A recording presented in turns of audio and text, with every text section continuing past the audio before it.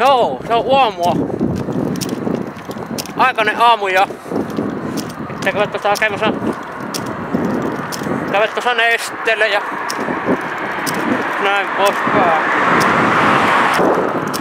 Mulla on tuossa kirje Pimpsavuorolle. Laitettiin siitä yhdelle Pimpsavuorolle kirje menemään. Ei kun... No ei laitettu kuin karvapersiselle ukolle. Karvapersiselle ukolle laitettiin menemään. Vittu tässä tämä neste akka pelekkiä tätä kameralla, vaikka mulla olisi piellä se. Käässä kun on paljon se kahtoo koko ajan. Kahtoo kamera vielä. Kerranhan minä oon kuvannut tuolla, niin tähän tota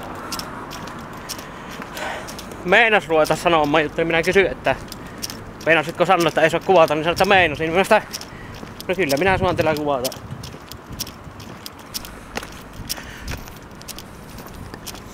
Ja kyllä ne on vähän epäluuloisia nuo ihmiset.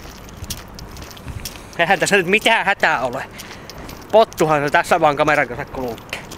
Perkele. No, minä oon tällä torilla nyt. Tähän torille tuli uamukahville. Siellä minä jakkarilla tuossa istun. Minä oon tällä, tällä torilla on tämmönen esiintymislava, niin minä oon täällä. Porukka mennä ohi kouluun ja töihin, niin ne kahtelivat tuossa, että... Näyttää tuolla torilla olevan noita... Siellä on lohenmyyjiä ja mitä helvettiä tuolla. Jotta savulohenmyyjiä.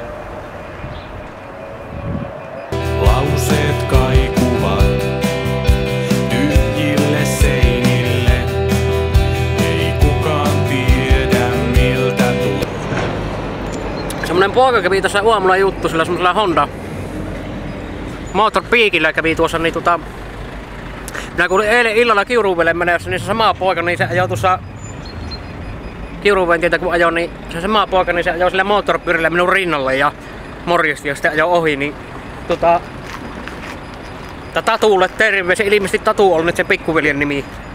Sen pikkuveli se ei ollut uskonut sitä, että No se sillä Hondalla minun ohi ajanut. Kyllä se ajoi. Kyllä se ajoi siihen rinnalle ja sitten ohi.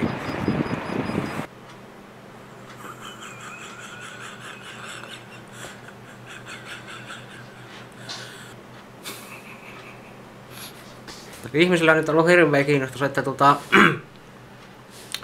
mistä minä saan rahoja, onko minä töissä ja plää plää plää, niin tuota, tuota tuota. Minähän saan tuota rahaa tuota, Popiter Pontus tuopi aina tuota avaruudesta, Jupiterista mulle avaruus noita seteleitä ja niillä minä sitten elän ja näin. Niin tässä vaiheessa vaikka minä olisin töissä jossa, niin tännehän minä en ilmoita sitä tänne YouTubeen, että missä minä olen töissä ja näin. Koska siinähän kävisi tässä vaiheessa niin, että se, se ei lääkkeä se porukka on sillä minun työpaikalla. Kyselemässä, että mitä kuuluu.